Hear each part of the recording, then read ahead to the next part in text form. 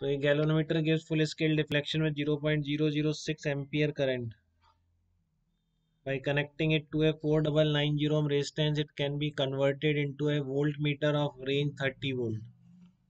पहले volt meter की range का फार्मूला लगा दीजिए। फार्मूला क्या वो लगाइए आपको पता है आप ध्यान आ गया होगा कि एक गैलोनोमीटर होता है और वोल्ट मीटर के लिए एक रेजिस्टेंस ऐसे लग जाता है इसमें।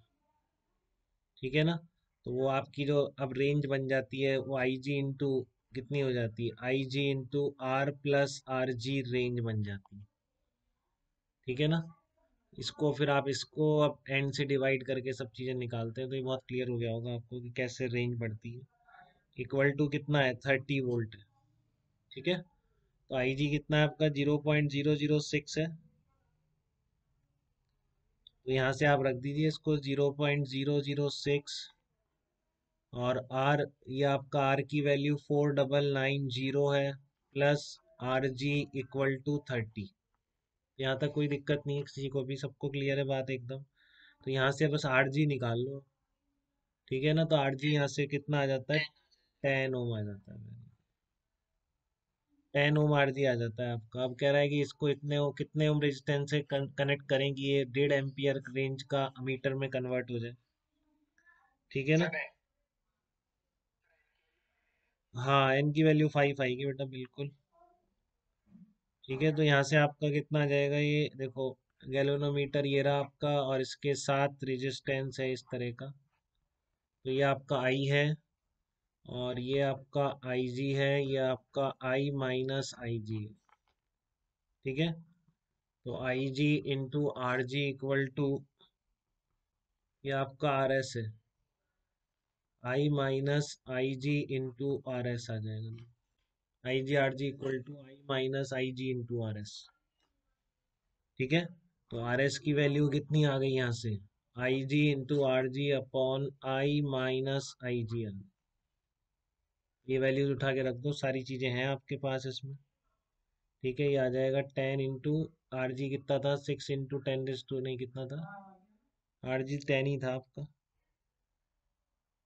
टेन था और आई जी थी six into ten raise to power minus three upon 1.5 ampere चाहिए आपको रेंज और आपका आई जी कितना है? आई जी फिर से six into ten raise to power minus three है. तो ये कितना आ जाएगा? Four into ten raise to power minus two तो two N by two forty nine equal to four into ten raise to power minus two तो ये N आ जाएगा, आपका कितना आएगा? Four ninety eight into ten raise to power minus तो ये कितना आ गया? फाइव आ जाएगा।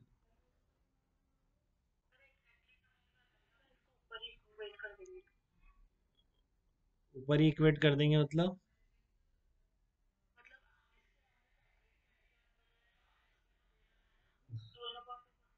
हाँ।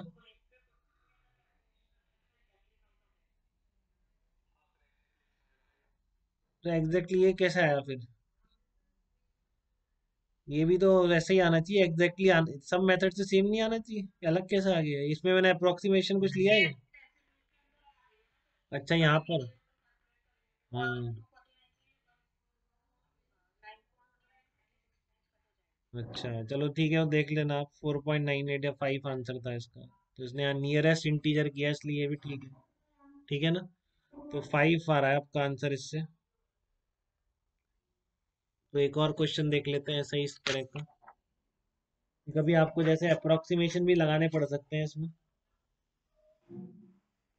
ठीक है ना? कभी अप्रोक्सीमेशन भी लगाने पड़ सकते हैं कि galvanometer has coil of resistance 100 ohm ठीक है? Showing a full scale deflection at 550 micro ampere what what resistance should be added to use it as a voltmeter of range 50 volt? लिख लो आप इसको। देखो जी और जी की वैल्यू बता रहा हूँ मैं आपको। ये आपका क्या दे रखा है? जी दे रखा है। जी लिख लो हंड्रेड है। ठीक है? और जी कितना है? फिफ्टी माइक्रो एम्पियर है। जी फिफ्टी माइक्रो एम्पियर है। Should be added to use it as a volt meter of range fifty volt and ammeter of range ten milli ampere पहले आपको फिफ्टी वोल्ट का बताइए तो कितना रेजिस्टेंस चाहिए? बहुत जगह आपके नेगलेक्ट हो जाते हैं। देखो, इसमें इसमें हो रहा होगा शायद कहीं ना कहीं। ठीक है ना? तो ये अप्रोक्सीमेट भी आप यूज़ कर सकते हैं। कि आपकी ये देखो 50 माइक्रो एम्पियर बहुत स्मॉल है।